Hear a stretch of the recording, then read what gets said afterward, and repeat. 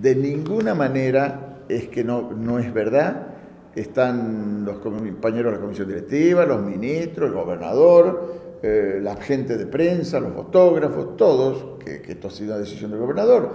A ver, y no se acordó no anunciarlo, no es un anuncio unilateral mío, de ninguna manera podríamos haberlo dicho, no lo, no lo anunciemos, lo anunciemos después, o lo anuncie el gobernador, o lo anuncie algún ministro. No me dijeron nada ni acordamos nada, porque no es que me, me lo imponga, hubiésemos acordado y por eso, ¿cómo no voy a salir contento de decirle a la gente nuestra que había quedado relegada en estas dos categorías este incremento? A ver, es, es absolutamente igual en el porcentaje a lo que se dio a las otras dos categorías. Ese no es, no es, es insuficiente y claro que es insuficiente para el marco de la, de la, de la inflación y demás pero guarda absoluta relación con las paritarias nacionales, inclusive mejora sustancialmente con el resto de la provincia, de las provincias vecinas. Nosotros tenemos una pauta salarial que es la que se cumple con la, con la inflación, que es la cláusula gatillo, que la aspiración y lo que se acuerdan todos los gremios paritarios nacionales es en ese marco paritario, bancario, que, que generalmente acuerda más, acordó el 84% hasta diciembre. Nosotros tenemos a hoy casi el 70% acordado en el sector público.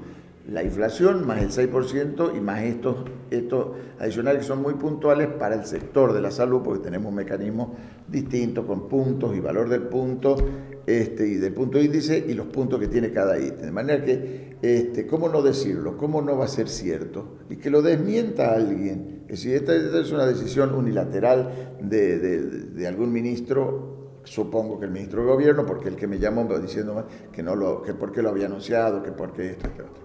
Entonces le digo, porque a mí no me marca ninguna, ninguna agenda, ni el ministro de Gobierno, ni ningún medio, por más importante que sea. A mí me marcan los trabajadores y la historia que tengo al frente del gremio y la cantidad de afiliados que representamos en toda la provincia y en el país con la federación, de manera que no es un tema menor que, tengamos que trabajar en este marco. Nosotros tenemos mucha historia en esto y, habrá políticos nuevos que no, se, no saben o se asustan con, medidas y además esto, los paros o las protestas han sido muy politizadas porque las han encabezado también legisladores de la oposición, de manera que nadie la puede desconocer y que nosotros nos tengamos que esconder, callarnos para decir que conseguimos un incremento que no fuera importante en función de que lo diga otro, de lo que no tiene la representación ni la historia que tenemos nosotros es una vergüenza. Absolutamente ni la estamos dispuestos ni a discutirla, ni a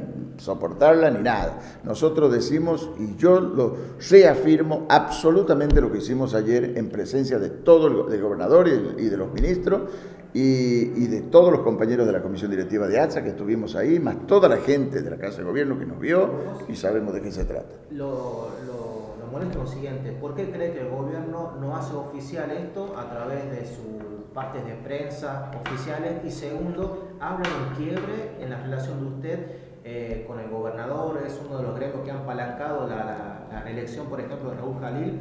Recién acabo de apuntar usted contra su ministro político, el ministro de Gobierno. Seguimos incondicionalmente con nuestro gobernador porque le ha dado muchísima salud y además trabajamos y trabajaremos para la reelección absolutamente. No hay ningún quiebre, ni mucho menos, ni me llamó el gobernador para decirme absolutamente nada.